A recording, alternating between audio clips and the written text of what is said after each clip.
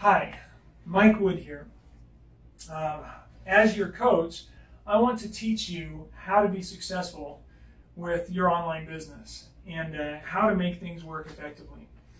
Uh, I can't be there, unfortunately, uh, sitting right next to you and reaching over your shoulder and showing you how to do this, but I can do videos to give you some insight and help to make sure that you can become as, as successful as I am.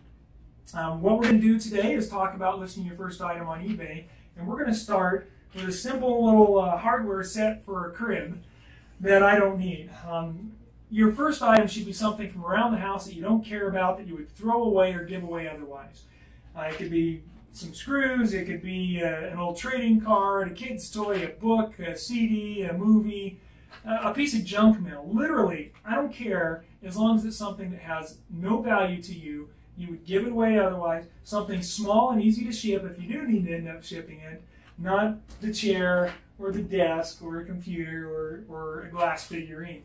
Something simple, insignificant that you don't care about. That way, there's no worry about mistakes. Who cares if you make a mistake on it? It doesn't matter. Because it's not an item we care about, it's not an item that has value. Once you are able to go through that process, as I'm going to show you here, then you'll be able to move on to bigger and better things and build your business. It takes a lot of work to make this happen. You've got to have hundreds and then thousands of listings if you're going to run this like a business and see success from it. So remember that, and remember this is just our starting point. So let's jump in and get started. All right, next step is to come in the break room or whatever room you've got. I do have uh, fluorescent lighting in here um, that uh, gives a decent light. And uh, I just got a white piece of uh, plastic here, similar to a uh, poster board. And that's where I'm going to take my picture. And uh, I'll put it on here with my phone camera, tap it, and then it lets me increase the brightness so I can lighten that up real good so the background kind of disappears. So a nice big white background is really helpful. You can buy a poster board at the dollar store a buck and you've got a great background for um, working with your images. So that's our next step is we need to take a picture of our item and take a few of them. Even though this is just a flat item, we don't really need a picture of the back. Uh, if you do have a back of an item, take a picture of the back. I'll take a few pictures of this and we'll put it on, uh, uh, on eBay. So let's go show you how to do that now. Okay, so now that we've done our uh, pictures and uh, we've got our item chosen. Now we've got to go uh, start our listing on eBay. And uh, so here I am on eBay and the easiest way to start a listing is to run a search for the item and see what you can find. I ran a search for Newberry crib hardware because this is a Newberry brand crib hardware and I found zero results. Nobody uh, is selling something like that. So I'll just get rid of one of those words and just say crib hardware. Oh, look at that. There are some people selling just general crib hardware, 110 of them actually. Well, somebody might want it, somebody might not, but it doesn't matter for this item because this is our practice item, right? We don't care. We're not going to make a ton of money with this. We don't care if we make any money or if we make no money. We need to go through the motions and learn the steps, and that's really what we're doing this for. An item that we don't care about, insignificant, small, worthless, let's move on. So we do a search here. Okay, so we've got our crib search. Now what I want to do is come down on the left-hand side. You see all of these options here. We could narrow it down by category, condition, format, location. We've got all of these options here. I want to come right down here under this Show Only section. So you see here where it says Show Only on the left-hand side there. Whoops, didn't mean to click on it. Show Only, and uh, what we want to do is check this box here or click on Sold Listings. And that will refresh our page, and now it's showing only sold listings. You can tell they're sold because they've got a green price tag.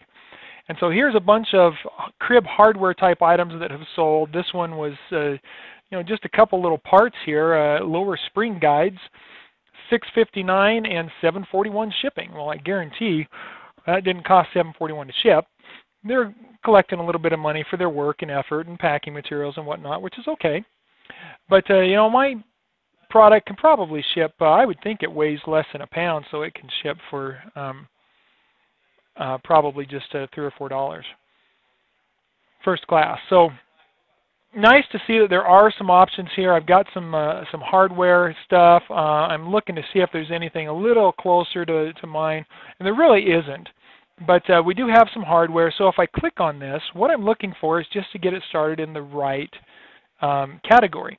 This one is category of cribs, nursery, uh, so baby nursery, furniture, and cribs. I'm going to look at a few of them just to, to kind of get an idea. And I don't usually do this. This is kind of an odd product. Same thing. This was uh, is in cribs. I'm going to scroll up to the top and look at uh, some of those up here, like that one there.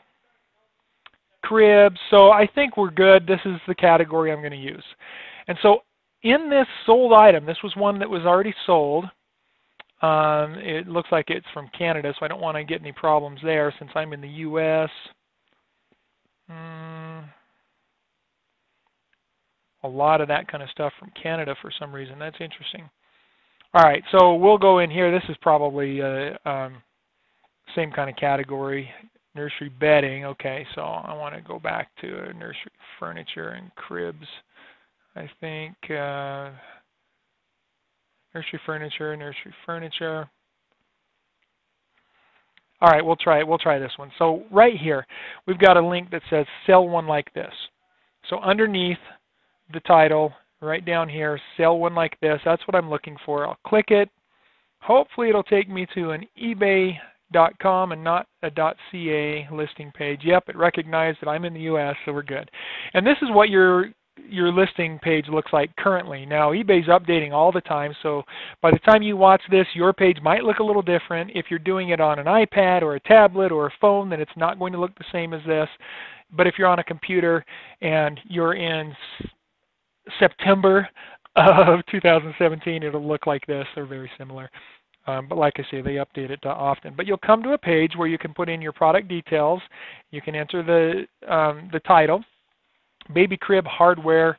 Um, upper track, well, it's not an upper track. It's not the, the colored stuff. So what I'm going to do is change this to Newberry baby crib hardware screws replacement bolts um, what else does this have I can look at the item here and it says uh, Allen head bolts, barrel nuts, so I can call it barrel nuts, um, barrel nuts. I want to get as many keywords in here as I can that are related to this um, product. This is for their convertible, convertible crib hardware, um, Allen head, metal dowels, so these are all words on the, the product itself that I could uh, put in here. Um, let's see, uh, I've got five more characters. If I put the space and I've only got four more characters, I don't have enough for dowel.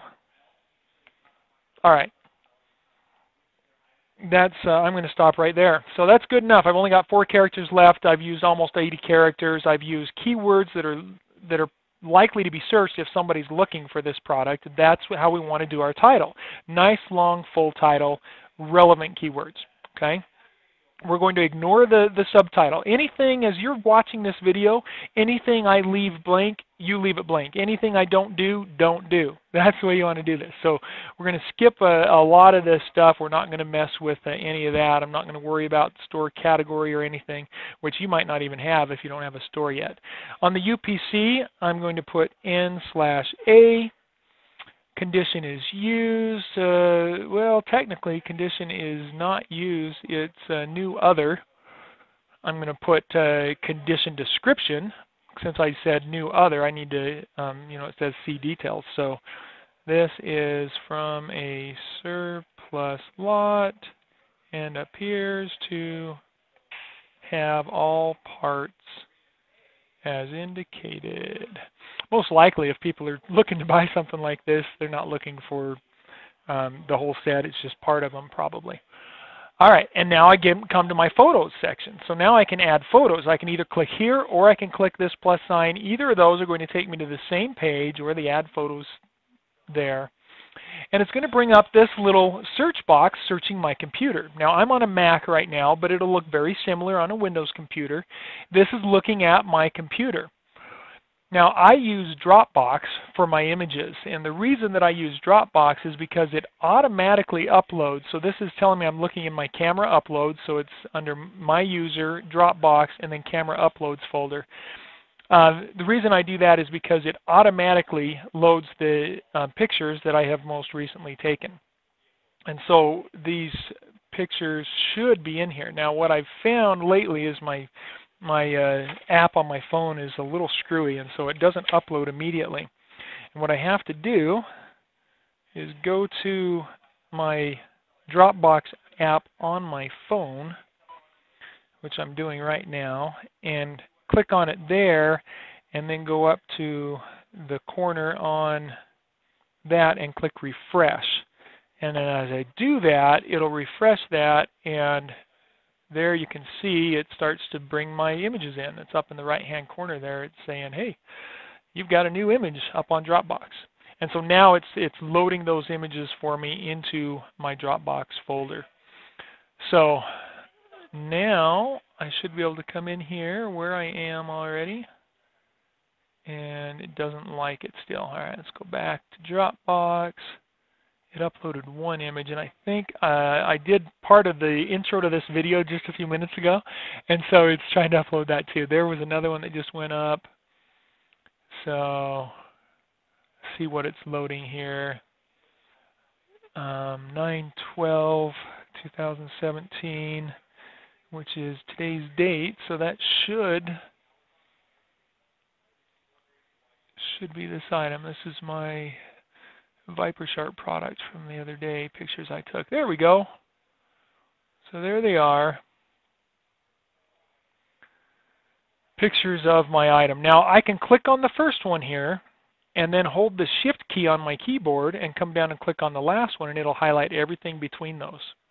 Okay, so click the first, hold shift on the keyboard, go down and click the last. So if I have five images, I can click number five and it'll highlight all of them in between and then I can click open and it will put all of those uploaded to eBay. Now, eBay has really uh, become more sophisticated lately and I like uh, uh, the updates that they have because I can come in here and edit this image. See how it's got kind of a gray background, a grayish color to it. So I can click on this little icon right here to adjust the brightness and contrast. And I can increase that brightness and almost drive away that background and then increase my contrast and look at that. The background pretty much disappears. Okay, so it wasn't a, a beautiful picture. It wasn't anything fancy or, or, or, anything. Lighting wasn't the greatest. I didn't uh, um, fix the lighting like I should have, like I showed you in the intro. Uh, but I can do a lot of that right here in eBay. So we'll go up here, increase the lighting, increase the contrast, and there I've got a decent image that stands out. Um, I probably want to put that one as my first image. And then this one, again, increase the brightness, increase the contrast. Try and eliminate that background as much as possible. Now with something like this, I don't want to completely eliminate it because I do want to be able to read those words too. And so I've got to be careful that I don't get rid of the word. So I'm going to crop this now. So I clicked this little icon right down here for crop.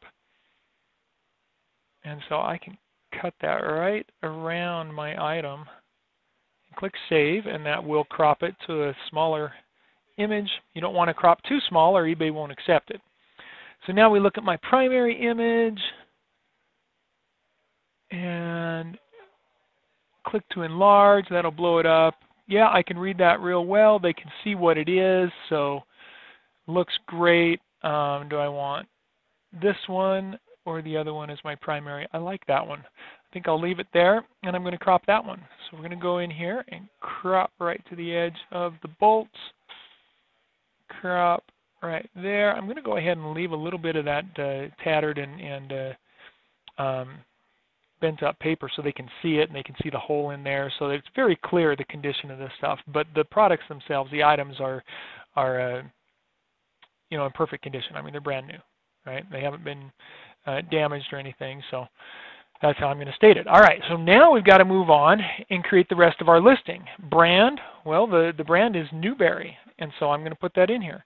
Now, if you have a store brand, uh, like a, a, Walmart brand, like Mainstays, or a Target brand or something, don't put the, the store brand in there, okay? I don't think Newberry is. Um, let me go do a search here on Google. Newberry crib. Um, so they sell it at Target, they sell it at Walmart, Fisher Price, Mattel, Wayfair. So everybody's selling it. So it's not just a Walmart or just a Target brand. So I'm not too concerned about that.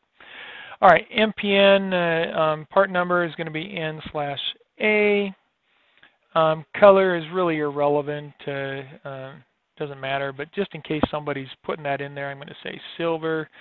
Style is irrelevant. Um, it's not any of these. It is uh, nuts, bolts, screws, dowels. So you can add specifics here. And the great thing about this, in eBay, the item specifics is searchable and the title is searchable. And you'll want to copy that. Well, I'll do that in a minute. I'll show you why. Um, okay, and uh, that's it. We don't need any of these other. We don't need model or size, country of origin. None of that matters. Now, right here, we have an advanced button, advanced editing. So we've got standard and HTML. If you are copying from somewhere else, you want to make sure you don't get any links, then click HTML, copy and paste into here, and it'll strip all the formatting from it. Okay. So if we come over here, I've got a template, and uh, this is something I can um, give you some insights on later on. You don't need it for your first listings, but what I do is I have created this template so that I, I can put it into every one of my listings and it makes every listing look uh, the same and look professional. So I highlight all of that and I copy it. I go to my listing and I paste it in here and it has all the formatting. See that? It formats everything. Now, if I go back and click standard, because I put it in the HTML, if I click standard, boom, it takes out all the formatting. Now it's just one big chunk of text and I have to clean it up and you know make my own paragraphs. Well, if I'm copying from a website where there might be links, I don't want to link back to that website. And so copying and pasting into the HTML when you have just a short, you know, maybe one paragraph description, that's a good way to do it. And then you click back on standard to edit it and clean it up and put it in the format you want. Okay. What I'm actually going to do is just paste this into the standard section because I have the template template formatted the way I want.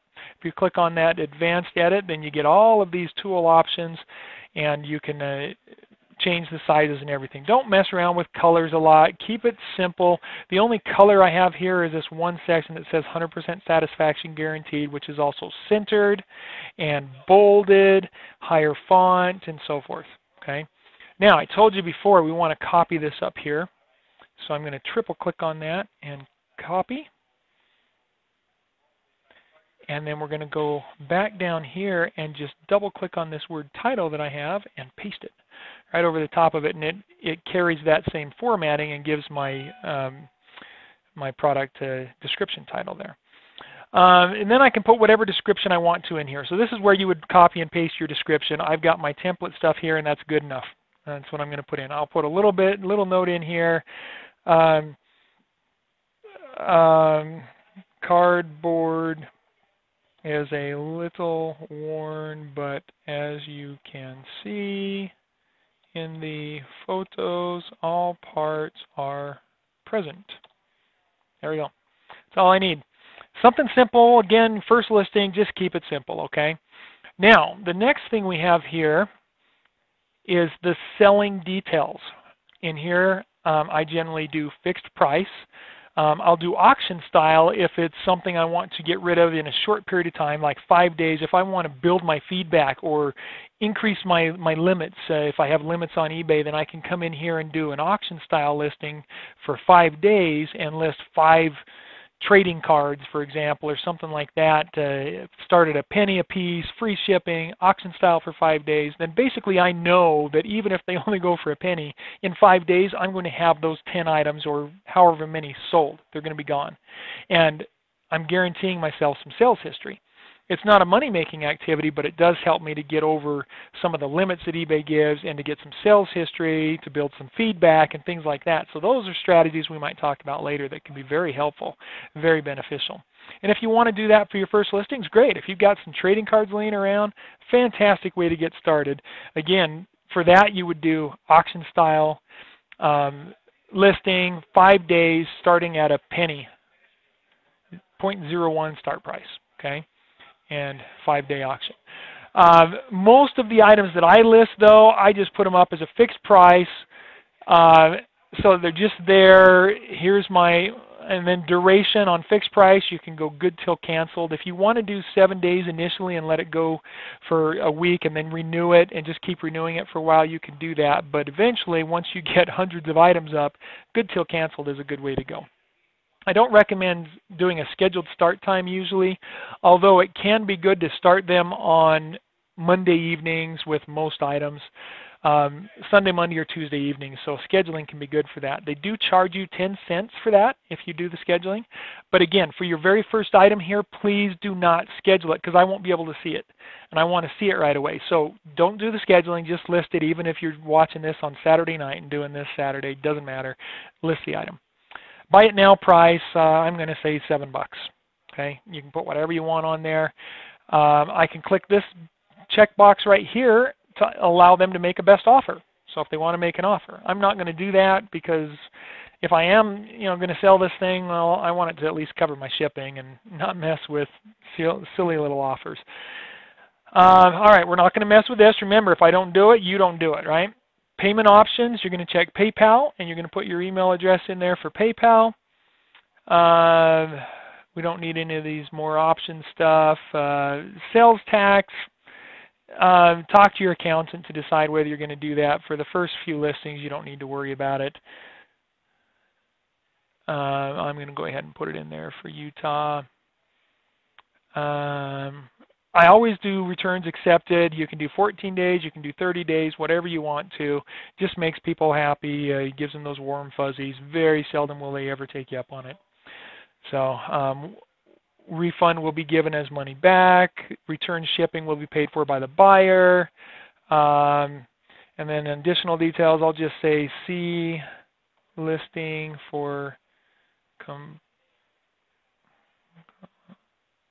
see if I can spell complete return policy. And so I've got that in my uh, template there. Do you charge a restocking fee? No. Uh, or you could choose no returns accepted, which most cases I don't do that. My return policy says, hey, if they're sold as is, they're sold as is. But I'm going to work with them however I need to to get uh, um, positive uh, feedback too. All right, so now we're down to the shipping details section. And so here I generally just do a flat uh, same cost to all buyers.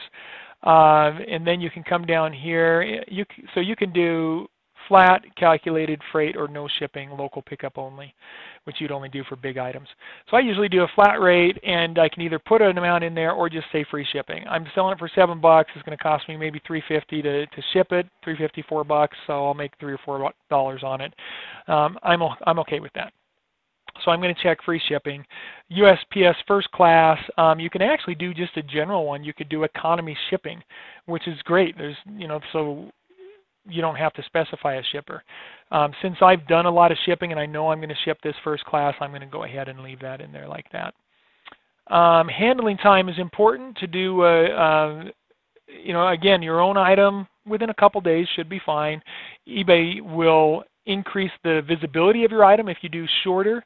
But if you're doing a drop ship, you're not going to have time to get it all done and get it. This is how long it takes before it actually ships. And if you choose one business day and you don't get it out in that time, then you're going to get dinged, and uh, that's a negative against your seller rating. So I usually just stick with two days. It gives me time to, to deal with things and, and sell it.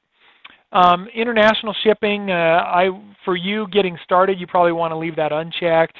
Um, I usually check it uh, on mine, but I, again, I've I'm experienced on this. So leave that unchecked so you're not messing with any of that. You don't need the weight and dimensions if you're doing flat rate shipping. This is only if it's going to be calculated, so we can ignore that. Uh, and then that's it. You can see my fees are zero. there shouldn't be any fees for a listing like this, and then we just click list the item. And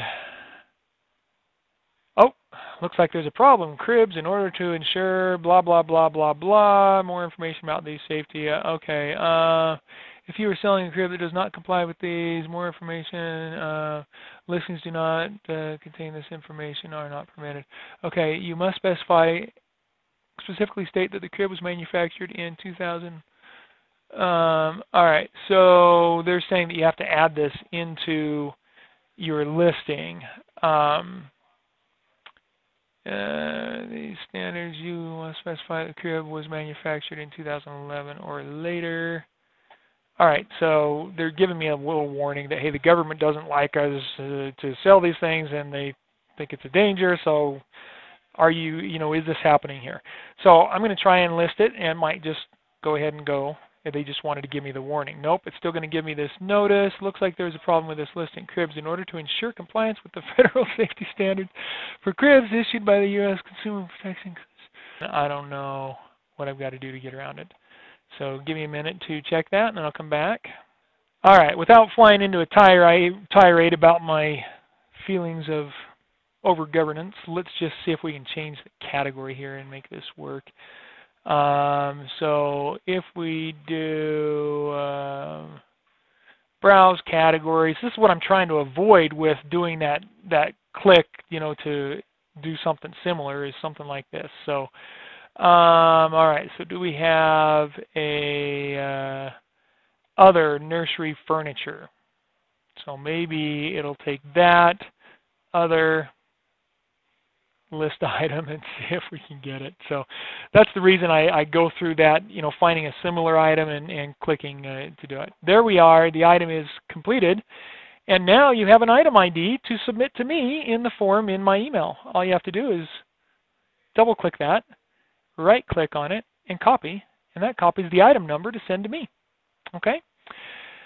So there we are. I'm done, and I can go uh, uh, do more listings now with other things. So I hope that's helpful for you in learning how to list your first item. Um, let's get it done. Go back and, and, and watch this video from the start. Pause it as you go and, and let it guide you and follow the steps and just do as outlined. Don't wait. Don't let fear stop you from progressing. Okay, uh, just move forward, find a piece of junk mail or anything that uh, you don't care about, and get your first listing up there. Then we can uh, get you moving forward into bigger and better things with your business.